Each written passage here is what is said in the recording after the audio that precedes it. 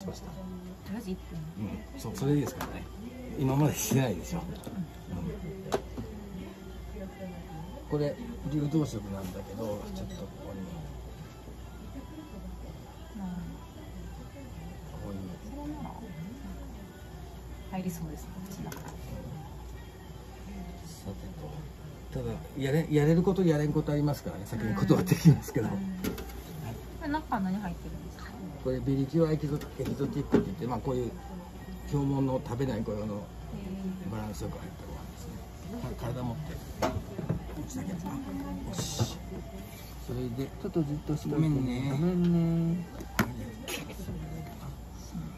ごめんねごめんねはいいい話してでちょっと斜めにしてもしいい外していいよ外しますはいごめんねごめんねそう胃の手前まで入れちゃいます。で今これ 0. 点？0.9です。0.9初めてだから0.1 2 3 4 5やめとこうかここでもう0.1 0.6までいっちゃう。0.6はいごめんねはいはいもうそれでもう一回光線照射ってね1分。ごめんね。ちょっともうちょっといけたかもしれないけどちょっと吐き戻してもうん。どうしようもないんでね、だからちょっと0.6で止めておきました。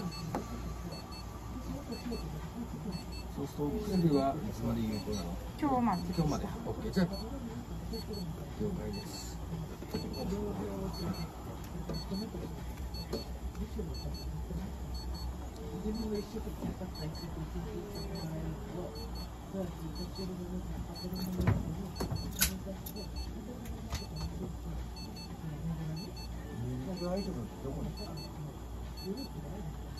出てます。上です。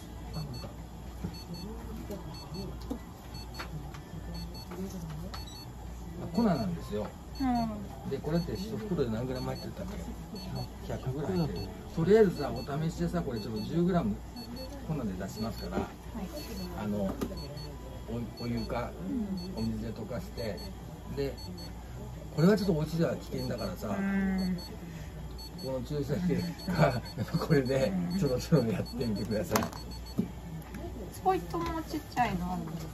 うん、そそれでもそれでもいいですよ。はい成分としたら、はい、じゃあこのままね104で吸入酸素で今からちょっと吸入療法と酸素をね10分でします。はい。まあこういう野菜。でこの辺の野菜はねかぼちゃとか人参ブロッコリー。ちょっとこれはなんかわかんないんだけどこれはねえーっとこういうのあんま書いてないから。書いてないね。哺乳類爬虫類でもいいんうですん大丈夫。BCAA っていうアミノ酸かはいわかります。わかります、はい。あそうか。トレーナーさんですよね、はい。そうそう。BCAA BCA だからバリンロイシンソロイシンが入ってる食材ですよね、だからこの辺は BCAA っていうのは普通はアミノ酸って肝臓で代謝するわけだけど筋肉で代謝する。じゃあ一回これ袋でうん黒でやってる。筋肉で代謝する。ってことは筋肉ってことは3種類あるわけだから骨格と心臓と胃とか腸も平滑筋心筋骨格筋そういうところで代謝して、まあ、合成するからそういうような筋肉を作ってくれる。それからあとは食物繊維。まあ、水溶性と、ん不溶性。あの不溶性が入ってるから、まあ、これはお腹の中栄養と合わせれば善玉菌が増える腸環境が良くなるよということですねで抗酸化成分も入ってるよ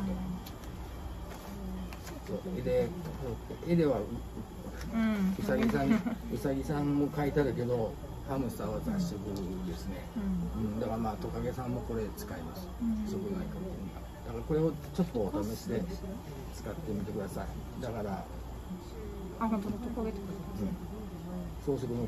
装飾の粉ならいいんですか、うん。うん。そっか装飾の。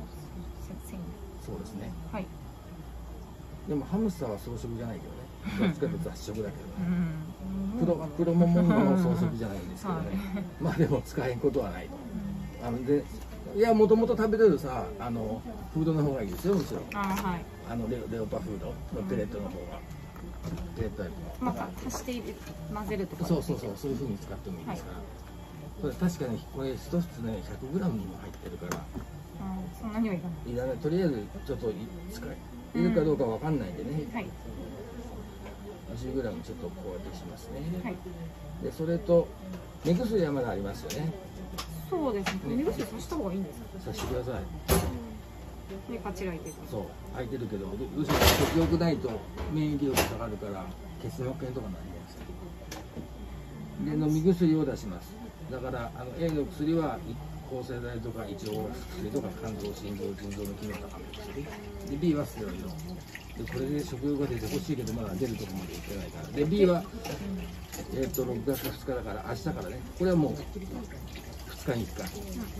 A に関しては1日2回から4回やってもいいですその食欲はあるかもしれないけど舌が口内炎が、だからこういうのでさ団子作ってもいいですよ。こういうのとかうんちっちゃい団子ね。うん。食べないんですよ、やってらっしゃる。はすいません。い、必ずまず普通で食べてくれないかなっていうまずはそれを先にやってね